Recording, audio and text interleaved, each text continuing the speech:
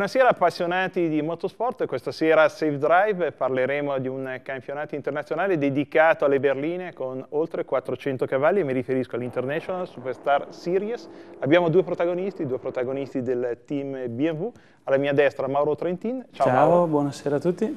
È un piacere ritrovare i nostri studi Mauro, era già venuto all'inizio del campionato e chiederemo come sta andando appunto quest'anno e ricordiamo vincitore trofeo Peugeot l'anno scorso in pista e invece un debutto qui nei nostri studi per Giovanni Berton. Ciao Giovanni. Ciao, buonasera a tutti.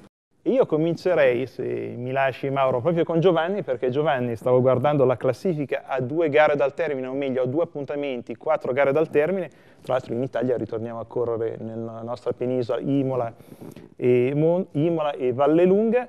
E Giovanni vedo terza posizione assoluta, ancora in lotta per il campionato, primo tra i BMW e anche con un paio di vittorie all'attivo. Stiamo andando molto molto bene, eh, abbiamo ancora due gare molto importanti per noi, finalmente siamo tornati in Italia e quindi vediamo di puntare a fare al massimo a casa nostra e cercare di puntare a casa questo titolo anche se sarà molto difficile. Campionato internazionale a tutti gli effetti perché vi abbiamo visto inizio stagione a Monza, poi siete andati un po' in giro per l'Europa e non solo, per te un debutto in questa serie e probabilmente anche dei circuiti nuovi da scoprire. Sì, sicuro. Eh, Quest'anno abbiamo fatto parecchi circuiti all'estero, non ne conoscevo neanche uno, a parte Bernot, quindi per me è stata più dura rispetto agli altri a imparare un po' all'inizio le piste, eh, quindi è un campionato molto internazionale, è bello così per, per, per tutto, per gli sponsor, per, per i media e, e quindi adesso andiamo su due piste che finalmente conosco, quindi dovrei avere meno problemi. Anche nel tuo caso, Mauro, un debutto assoluto, tante piste quasi tutte nuove, se non quelle italiane, e poi c'è la novità di una eh, trazione anteriore. Tu arrivi, hai fatto anche del GT, però era un, era un anno che non salivi più su queste vetture. Adesso ti vedo in buona ottava posizione, una serie di punti, tanta regolarità nella tua stagione, direi un, un bilancio positivo.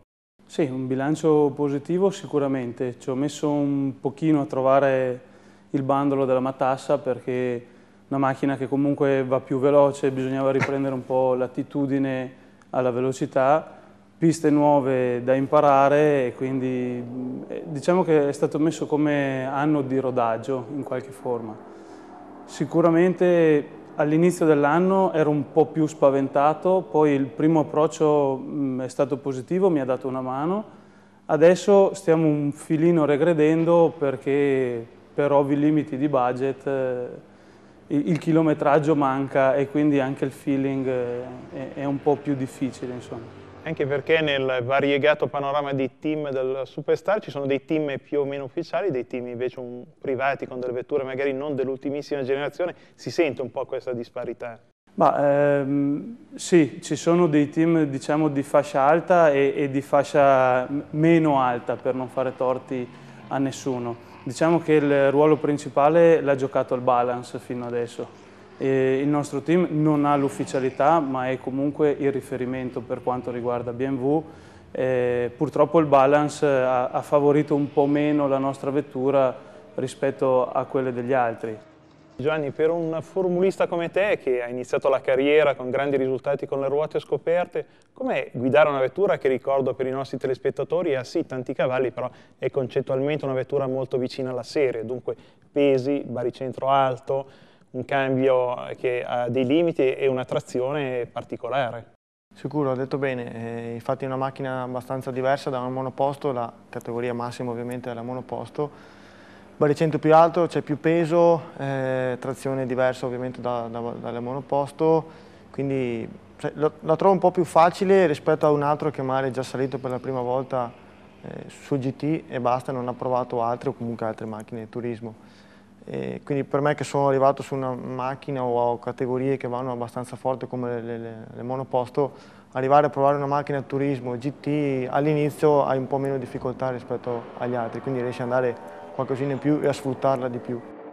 Poi penso, presumo io, anche un po' di malizia, perché con le formule non ci si può appoggiare perché ci si incastra, mentre con il turismo ho visto delle gare in televisione, c'è molta bagarra, ci sono molti, chiamiamoli colpi bassi, fa parte un po' dello spettacolo. Eh certo, è vero, infatti con queste macchine qua purtroppo si, ci si può permettere di arrivare in certi momenti in situazioni che si danno sportellate o si ricevono, eh, a volte un po' ovviamente involontarie, però a volte anche magari volontarie e quindi sai... chi, è, chi, è, il più ostico, il più difficile quando lo raggiungi o quando ti raggiunge e dici adesso sarà dura con lui? Beh, quest'anno sicuramente era Larini con la Jaguar, perché lui è sempre un po' così, diciamo, tra virgolette, scorbutico, chiamiamolo così, però comunque insomma, sempre nei limiti, tutto sommato, ci può stare. Ricordiamo Andrea, Andrea Larini. Eh, Mauro sorride perché probabilmente anche lui ha qualche segno della sua Jaguar sulle tue fiancate. Sorrido perché i segni non mancano mai e in quanto a timidezza direi che anche se arriva dalle monoposto Giovanni non si non fa si mancare nulla perché domenica guardavamo una foto dello start di gara 2 a Donington tutte le auto ben composte in due file una unica macchina sull'erba ed era lui che cercava di passare l'Audi. Senti, mi riagganzo a questa situazione tecnica, dicevi prima del balance, vetture con eh, motore anteriore, vettura a quattro porte, a due porte, trazione integrale, trazione posteriore. La vostra vettura è andata molto bene dove c'è guidato, tanto telaio, un po' come avviene nel GT con la Z4, manca un po' di cavalli. Adesso c'è Vallelunga e Imola, come sono queste due piste per, vostre, per la vostra M3? Per la nostra M3 potrebbero non essere completamente sfavorevoli, nel senso che dovremmo riuscire a mettere una pezza anche se ehm, beh, dobbiamo confidare per forza di cose nel meteo, perché se dovesse esserci una situazione di pioggia o di pista umida con la trazione integrale l'Audi diventerebbe imprendibile. Eh, Imola ha un paio di rettilinei in salita che favoriscono sicuramente Mercedes, eh, che ha tanto motore, noi sul guidato mh, dovremmo difenderci. Tra l'altro guardavo un campionato veramente molto combattuto perché dopo 6 weekend e 12 gare tra il leader, ma sarebbe meglio utilizzare il plurale, tra Thomas Biagi, Mercedes e Gianni Morbidelli Audi, Lego 173 punti entrambi, poi arriva Giovanni a 136. Eh, come viene visto il, la carovana multicolore della Superstar nelle gare all'estero? Andate in posti che io ogni tanto invidio. Eh, c'è un grande seguito perché in Italia c'è da dire la verità che il vostro campionato è uno dei pochi campionati che dove è arrivato ha portato tanto pubblico sulle tribune. All'estero come siete visti?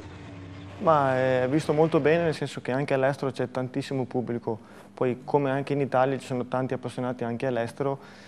L'unico punto debole diciamo, è stato Portimao, che c'era molto meno pubblico rispetto alle altre piste. Forse secondo me è dovuto un po' che era vicino al posto di mare, sai, turismo, quindi tanta gente, poi periodo di ferie tra luglio e agosto, quindi tanta gente magari andava al mare o anche tanti turisti. Vada come vada, indubbiamente noi ti auguriamo un grande successo. Stai già pensando a quello che potrà essere il tuo futuro nel 2014? Sì, io vorrei restare ancora nell'ambito Superstar perché lo reputo uno dei campionati attualmente più in voga e più importanti da, da tutti i punti di vista, sia della spettacolarità che dai mezzi, dai piloti, dai team. E quindi vorrei restare in questo campionato, possibilmente con questa squadra poi sai, si valutano tante altre proposte o comunque tanti fattori, però mi piacerebbe restare qui e vediamo di, di, Beh, di, di puntare. Uno, se arriva uno con un bel ingaggio, perché dire di no? Vabbè, esatto, valutiamolo. Mauro, dopo un anno di esperienza bisogna cercare di riprovarci, di riesserci, penso, nell'anno prossimo, perché ormai hai le idee più chiare su quello che è il campionato. Sì, sicuramente dopo un anno di lavoro eh, bisogna anche concretizzare in qualche modo, per cui l'idea, il programma è quello di ripetersi, di rimanere nel campionato Superstar. Siamo in un periodo in cui bisogna tenere la bocca chiusa e le orecchie aperte e poi vedremo da qui ad aprile sicuramente qualcosa succede. Senti, c'è già qualche idea su quello che sarà la linea guida del campionato, sia a livello eh, di regolamento sportivo e tecnico, lo stesso calendario? C'è qualche idea? Eh, so che il calendario è al vaglio in questo periodo e mh, mm, noi abbiamo consigliato in mezzo alle tante trasferte europee di inserire comunque una data italiana a metà stagione, a metà calendario che è una cosa che quest'anno è un po' mancata. E a livello di lunghezza delle gare, di punteggio, quello è un mix corretto o tu faresti delle gare magari un po' più lunghe, eventualmente anche con due piloti, non lo so? Forse la gara un po' più lunga per il pilota non sarebbe male, però mal si sposa con il prodotto televisivo e con il coinvolgimento del pubblico, quindi diciamo che il format è quello ideale, è quello corretto. Io concludo in questa fase del campionato con tutti i graditi ospiti, indubbiamente facendo un grosso in bocca al lupo per la tua rimonta. E chissà, per puntare a un podio quanto prima Mauro, eh, divertitevi, fatevi divertire. E voi appassionati, oltre che poterlo seguire in eh, televisione, l'International Superstar Series, gli appuntamenti sono eh, tra poche settimane a Imola e a Valle Lunga, dunque l'opportunità per andare a vedere queste fantastiche vetture. Grazie ancora e voi telespettatori rimanete con noi perché voltiamo pagina ed entriamo nella sezione Racing Time.